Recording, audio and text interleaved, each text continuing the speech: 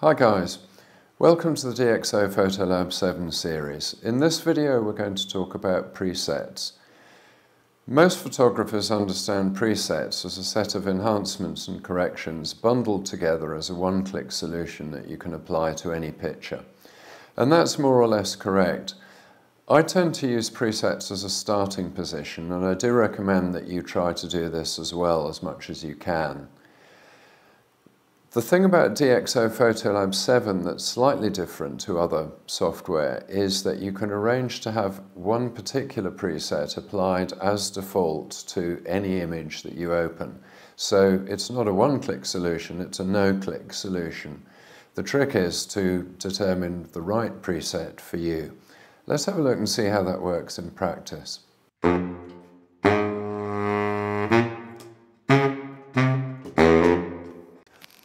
Okay, let's talk about presets. Now, I'm going to show you how to set the presets that's automatically applied to your pictures when they're imported into the customized space. You go to the Photolab 7 menu, hit settings, and you'll see here halfway down auto apply presets for raw images, DxO optical corrections only and for RGB images, DxO optical corrections only. Now, I'll close this for the second. Just remember that this is where this setting is applied. Now, the principle of presets is that it's effectively a look and feel for your image that's automatically applied. So it's a, it's a whole bunch of settings from every develop module or from a selection of the developed modules to get to an end point. Now the general purpose presets, at a glance you can't see a massive amount of difference between them, but there is.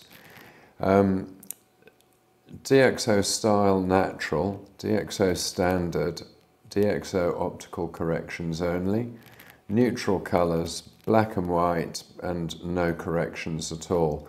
Now, I would always choose myself DxO optical corrections only because this is an area where DxO is very strong indeed.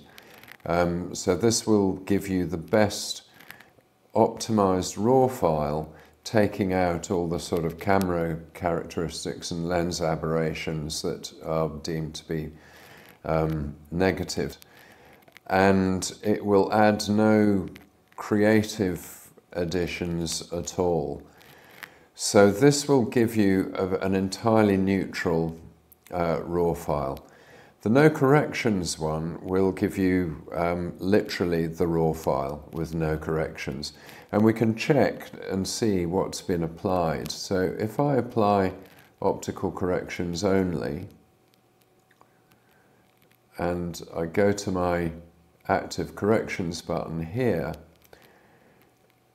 I can see that in this case, in the light module, um, I've only got vignetting applied, or, or, rather vignetting has been corrected.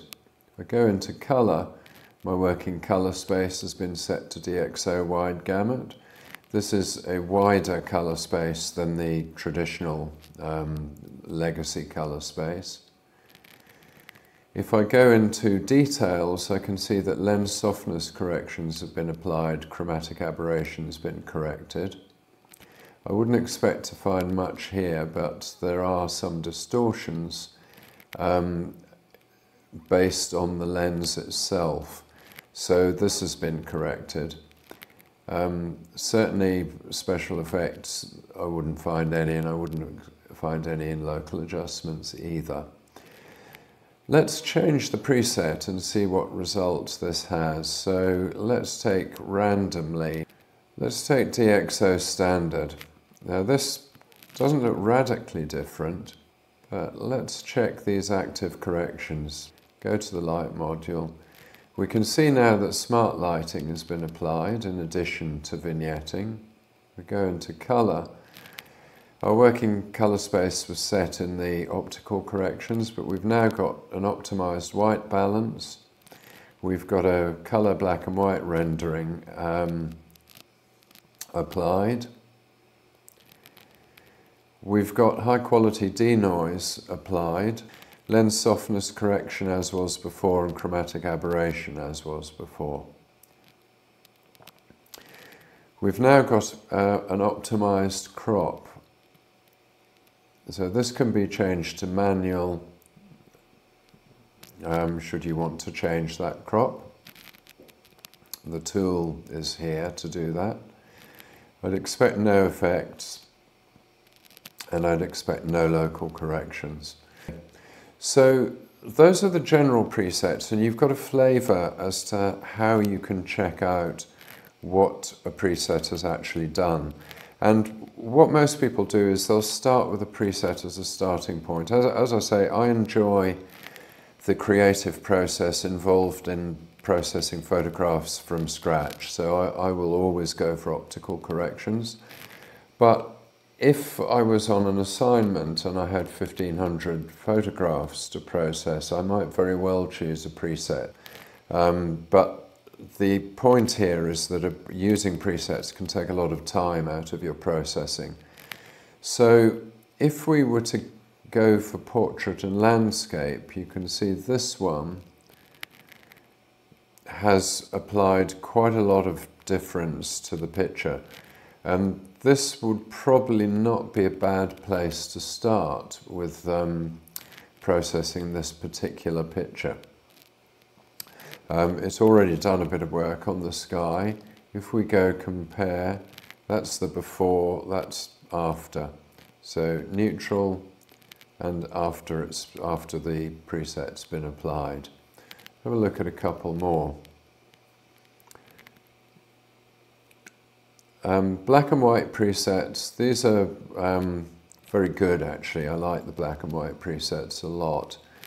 Um, let's choose one at random. I think probably the best one would be this one. This looks to have quite a lot of clarity applied. Yeah, so you've got a lot of detail here in the mid to background. I think possibly for me slightly too much. So if I were to use this as a starting point, I, would go and take that down a little bit. But I generally like the way that it's, it's gone to a sort of high contrast look here. Um, but what I could do is take that contrast down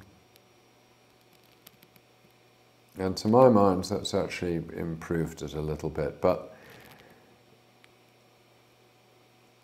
and it has it has put a small S curve in in the tone curve. So I think for me, I again I've said this in other videos. I, I would take the contrast out because it's a generalized tool at, at best. Um, and I would work more with the tone curve if I wanted to get a high contrast look. I just think it gives me a better, um, a better, a better feel for the picture, a better, a more accurate representation of where I want to go.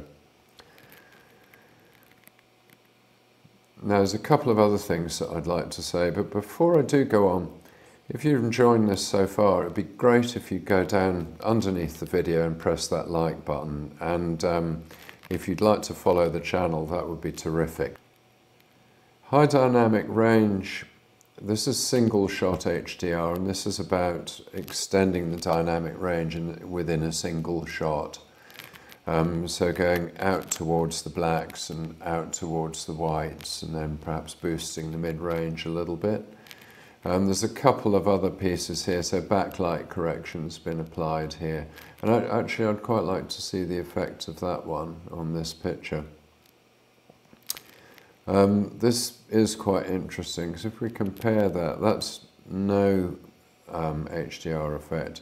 That's with HDR effect. So if we look at the before, we can see there really isn't a whole lot of detail around this area and let's go, that's the HDR effect, and that's without the HDR effect. So this has actually, to my mind, has just brought enough detail into this area to be attractive, but it doesn't necessarily detract your attention.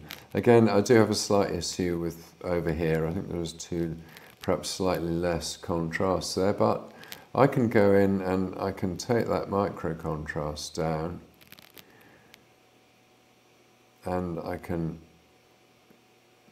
increase this a little. And interestingly, what we're seeing here is that this preset has also um, made some alterations to the red, green and blue settings. And this is to bring natural color contrast out. Again, we'll talk about that in a lot more detail in the color module. I want to talk about FilmPack because FilmPack is a really powerful application and if you install FilmPack, um, the latest version of FilmPack, alongside Photolab 7, you will have access to a lot more various film emulations than you do in the um, off-the-shelf version. And DxO is rightly famous for these, and there is a story attached to these. There is a great story about this. I don't know how, if you're aware of, you certainly should be aware of Sebastião Salgado, the, the famous landscape photographer. Um, a dedicated film man and he does his projects in uh, very far-flung places, the Amazon basin, basin and uh, places like this. The story goes, and I, I, heard this from DxO themselves, so I've no reason to think that this is an exaggeration. Um, the story is that um, in working in the Amazon, he took with him all his film stock and he had refrigerators to keep it at the optimal temperature and so on and so forth. And um, they had a, an accident with one of the boats on the Amazon, and the whole lot went into the, into the Amazon. And they used DxO um, film pack um, emulations to emulate the precise film stock that he is used to using. And to his and everybody else's great surprise, when it came to the book and when it came to the exhibition, nobody could tell the difference. That's how good FilmPack is. Um, the practice behind this is that um, DxO actually hunt down the film stock. So they will go and they will buy um, rolls of, the, of these antique film stocks and they will analyze them very, very precisely digitally over several different rolls so that they can get the variance and get the, get the essence of each film stock. Um, so I think these are, are, well worth looking at. And that's it. Thanks for bearing with us so far, and in fact, thanks for staying with us to the end. Um, we'll see you in the next video.